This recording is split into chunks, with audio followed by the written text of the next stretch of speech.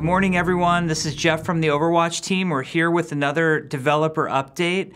So, one of the things that we see you ask for the most is new game modes. And now I remember back at BlizzCon, I think it was last year, I was once asked, Are you guys ever going to do deathmatch? And the answer at the time was no. We just didn't think it was right for the game. Our thought was that in both quick play and competitive, we always wanted teams focused on objective based combat and not off kind of doing their own thing. Well, things have changed. We've introduced the arcade last year, and it's been a really big success for us. But the coolest part about the arcade is it's opened up our ability as developers to introduce game modes to you guys that we wouldn't normally feel comfortable putting in the quick play or competitive rotation. So therefore, the exciting announcement is that Deathmatch is coming soon to the arcade. And I think you guys are gonna really love it.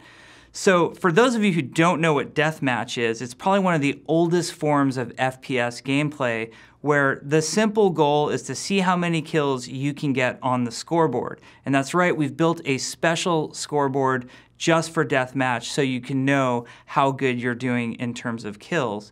Now there's two different ways that you will be able to play deathmatch, and I think they're both awesome for different reasons. The first, the core mode that we're just calling deathmatch, is completely free for all, meaning it's you against seven other players in a map. You can pick whatever hero you want, and I guarantee nobody on your team is going to complain about it. All you have to prove is that you can get the highest score. We usually play to 20 in these deathmatch maps that you can get the, high, the highest score before anybody else. Now you might be wondering, you know, in the arcade, does that mean I have to beat seven people every time to get my win to count for my arcade wins each week if I want to get my three loot boxes? Well, the way we handle that is if you are in the top half of players in the, in the match, which in this case means you're the top four, you will get win credit towards your arcade loot box. But obviously, you really want to be that top player. Um, and I have faith in you guys. I think you can get there. I think you should really try to be that top player. So you might be wondering, like, well, where do I play deathmatch? Uh, all the maps are built for escort or assault or control. Well, we've modified a lot of our maps, not all of them, but some of the hybrid and escort maps and some of the assault maps, we've modified portions of them to accommodate this deathmatch mode.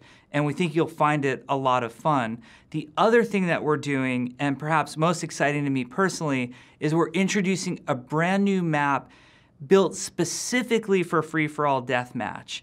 Now, not only does this map have great gameplay, we've put some really cool jump pads, there's open areas for Pharah to fly around, tight Reaper corridors for you to mess around with. The gameplay is great, but I think the story is really cool and the art behind the map is awesome also. So the map is home to Amelie Lacroix. You might know her better as Widowmaker. Well, previously, before she was married to Gerard Lacroix, she was known as Amelie Guillard. Now, this is Chateau Guillard, her family estate in France.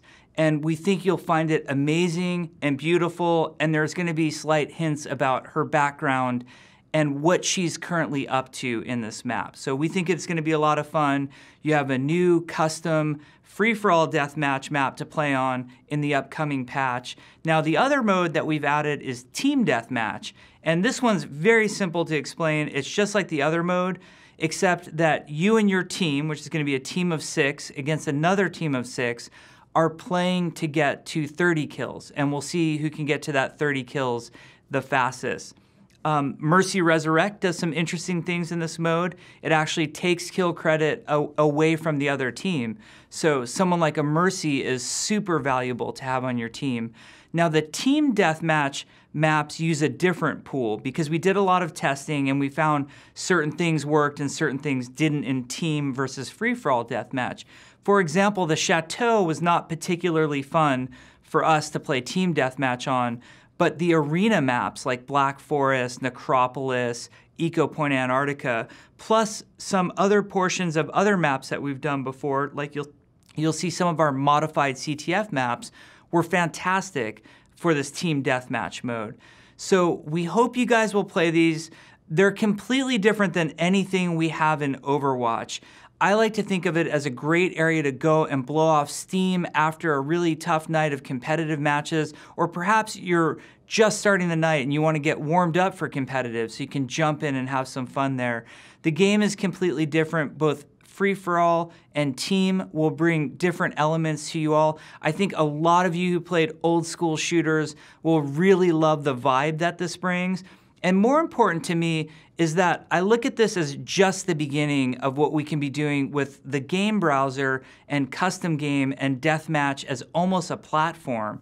So obviously we have a very basic rule set in there. We let you pick whatever hero you want. You can actually skip the kill cam to respawn faster in this mode, which a lot of you will really like.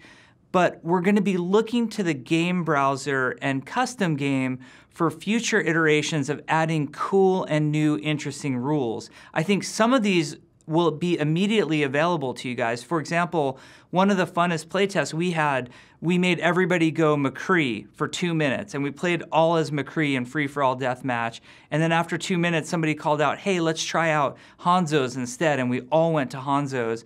I'd love to see you guys trying this stuff in, in the custom game browser.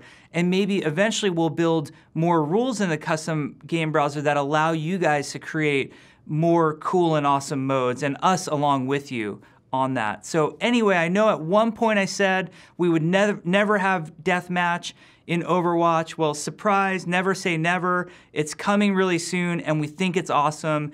Get out there and enjoy it. Thanks guys.